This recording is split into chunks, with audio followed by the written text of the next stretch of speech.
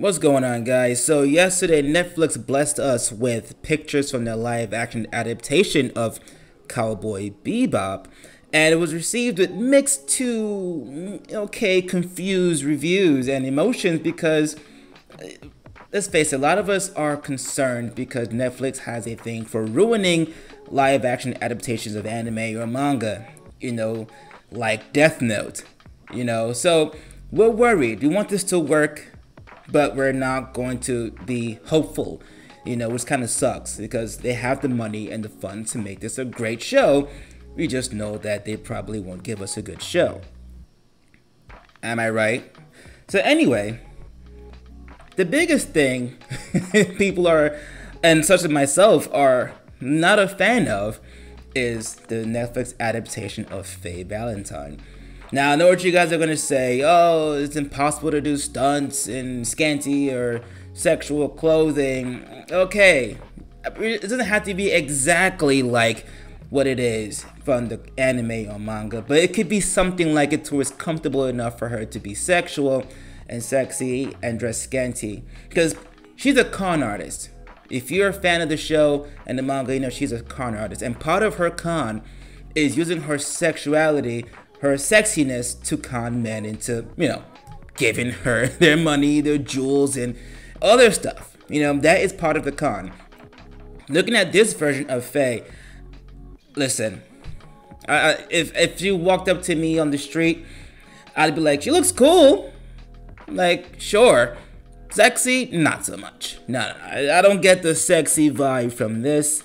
And a lot of people on the Twitter, surprisingly, are not a fan. Surprisingly enough, Twitter is not even with this either.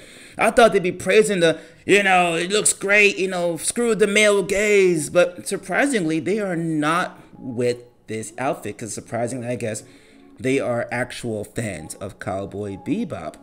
Now, instead of them giving us this, this is what we want. Something like this. The original anime, yes, she looks, does look sexy and whatever the case is, but I'm not saying it should be something like this. I'm just saying, I'm just saying, I'm sorry, rephrase that. I'm not saying should be exactly like this, but they could have worked something out to be something similar to this because the sex appeal is part of her con. Now, before you go in the comment section, be like, oh, it's impossible for her to work in these attire. It's not even right. It's not fair. Not being realistic. I know that. That is why I said the outfit doesn't have to be exactly like what you see on the screen. However, it could have been something similar where it matches what's going on in the show or in the books, you know, where it pleases the fans and it makes sense for her to use her sex appeal to con men. It can be similar.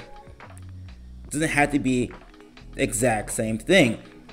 That's why we don't like um, whatever the crap they're giving us. Now, if you're saying, oh, it's impossible for her, for Hollywood or Netflix to make that exact attire, bull crap, bullshit. We know cosplayers who do a better job at making Faye Valentine cosplays and outfits. You, I don't even have to post it because I don't think they might be happy me posting their outfits up their permission. However, if you a simple Google search and a simple Twitter search, you can see the numerous cosplays of her done by people with obviously a less I'm sorry, much less budget, you know, and they made it work, you know, and they made it comfortable for them to wear for an entire convention. These chicks are wearing this cosplay for hours at conventions and these in these hot ass um, convention rooms and convention sites. If you're going like to some of these states where it's just hot all the time, you're wearing this outfit all day in cosplay. You know, like if they could do it, or they can make something similar to the outfit, Netflix has zero excuse. Now I got some tweets that are really spicy. That, that to prove to you guys that not even Twitter is in support of whatever this nonsense is. And here's the first one. And uh, I think so far this is by far the best one. Netflix took Faye and made her look like that. the hair is awful. She's way too covered up, and the colors aren't even close to being right. If they made her stockings the light pink, made her clothing the right colors, it would be way better. literal CW designs here, and it is absolute facts. It looks like some crap from the CW. It's like everyone's going the Riverdale route or the, or the new Charmed route, and God, I hate those shows. Bad. This tweet is absolutely correct, and you know what? There's more. I got you. this just keeps getting better and better, man cosplay is so much more accurate and they don't even have this kind of budget. See? Fuck my life. You see, this is exactly what I just said. Cosplayers don't even remotely have the budget that Netflix does. And look at the screen. Look at the amazing detail in the cosplay. Amazingly done. It says, um, I'll say um, Faye's outfit needed to be reworked because as nice as the cosplay looks, it's not possible to wear that run, do stunts, everything the actress needs to do. Not that I like what they ultimately went with, but the original is impractical. Like I said before, I agree that yes, the the exact outfit may be a little hard to do stunts in because Faye does a lot of flips and running and dodging of bullets and stuff like that. That's why I said if they had made something very similar to what the outfit is, we could have worked with that. But they went and made something entirely different and now we're just like, oh, okay, what what is this? Fans are just like, this is not the Faye we grew up with, or you know, the Faye that's supposed to be in the show. Oh, the best one. All to defeat the male gaze. exactly like I said.